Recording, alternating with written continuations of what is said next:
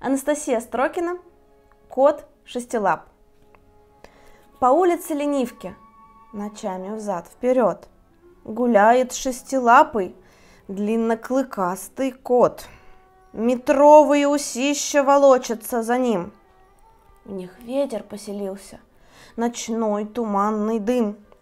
Захочет он, на стену взберется без труда, и на стене повиснет, как в небесах звезда – и так бывает рыкнет, что окна зазвенят. А если есть захочет, проглотит он подряд пять голубей, собаку, ворону черный глаз. Там ночью не гуляйте, а то он съест и вас. Ужасно дыбошерстен и страшно шестилап. Никто не заметит, как вас он цап царап. Запомните навечно, ленивка, серый дом – там шестилап под утро становится котом. Обычным полосатым котом со всех сторон. Он за окном мечтает и смотрит на ворон. И ждет, когда хозяйка добавит молока. И шерсть его пушиста, и лапонька легка. Зачем он ночью бродит? Я не могу понять. Мне кажется, об этом совсем не нужно знать. Маркуша – у малой гнилуши ночует Маркуша. Он вредный, недобрый, он звероподобный. Ни мамы, ни папы, ни руки, а лапы, ни ногти, а когти. И шерстка на локте. С утра на прогулку выходит Маркуша. Никто в целом мире Маркуши не нужен. Идет он, как туча осенняя хмурый, всклокоченный, резкий, громада фигурой. Но только отличникам и прочим приличникам Маркуша не виден, Маркуша не слышен.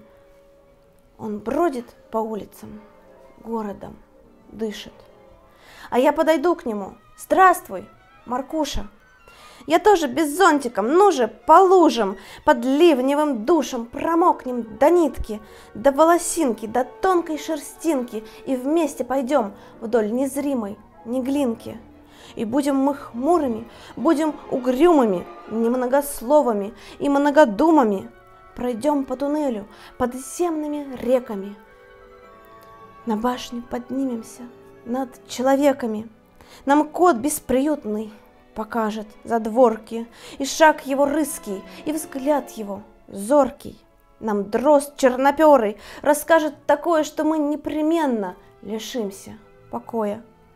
Я злостный прогульщик и троечник лютый, но я дорожу сокровенной минутой, когда я стою на вершине в Крылатском, и луч прорезается острый, как лацкан и тучи расходятся в дальние дали и смотрят на северо-запад сандалии. И рядом стоит молчаливый Маркуша. Маркуша ночует у малой гнилуши. Привидение со Спаской. Одинокому привидению. Одиноко до чертиков. Дорогатеньких, усатеньких, хвостатеньких чертят – тоскою и опаской летит оно по Спаской. А призраки веселые со всех сторон кричат, это что за невезение? Одинокое привидение. Это ж как ты жил на свете, что друзей своих не встретил? Это ж как сейчас живешь, что один идешь, придешь.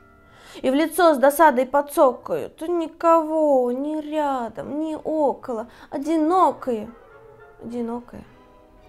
Привидение поправит шляпу, подтянет носки. Ну а что вы думаете, я бы просто умерла от тоски, испарилась бы. Но все же призрак умереть не может.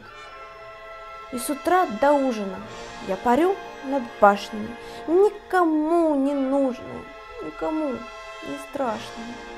И летит оно по кругу, и кричит оно по кругу, ну, любите же друг друга, обнимите же друг друга.